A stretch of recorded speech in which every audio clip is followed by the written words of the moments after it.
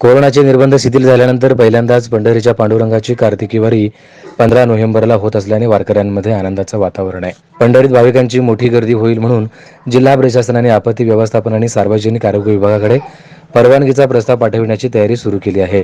मात्र राज्यातील कोरोनाचा प्रादुर्भाव कमी झाल्याने वारीसाठी आता स्वतंत्र परवानगीची गरज भासणार नाही असं आरोग्यमंत्री राजेश टोपे यांनी स्पष्ट केलं आहे आषाढी कार्तिकी चैत्र आणि माघ या प्रमुख चार वारींच्या निमित्ताने दरवर्षी पाच ते दहा लाखांपर्यंत भाविक विठुरायाच्या दर्शनासाठी पंढरी दाखल होतात.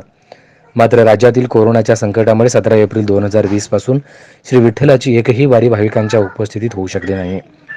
कोरोनाच्या दोन्ही लाटेत आषाढी वारीच्या निमित्ताने मानाच्या पालख्या एस टी मंडळाच्या मदतीने बसमधून पंढरीत दाखल झाल्या. दरम्यान आता कोरोना रुग्णांची संख्या कमी झाली असून बरे होणाऱ्यांचे प्रमाण देखील मोठे आहे.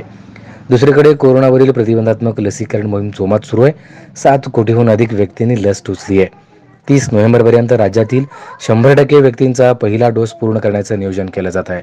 दरम्यान अठरा वर्षावरील सर्वांनीच प्रतिबंधित लस टोचून घ्यावी असं आवाहन आरोग्यमंत्री राजेश टोपे यांनी केलं आहे दरवर्षीप्रमाणे वारी करण्यास राज्याच्या आरोग्यमंत्र्यांनी हिरवा कंदील दिल्याने वारकऱ्यांमध्ये आनंदाचं वातावरण पाहायला मिळत आहे कोरोनावरील प्रतिबंधित लस मोहिमेच्या अंतर्गत प्रत्येकाला लस टोचली जात असून राज्यातील कोरोनाचा प्रादुर्भाव कमी झाला आहे त्यामुळे पांडुरंगाच्या यंदाच्या कार्तिकी वारीसाठी स्वतंत्र परवानगीची गरज लागणार नाही. वारकऱ्यांच्या उपस्थितीत वारी होईल असंही यावेळी सांगण्यात आलं.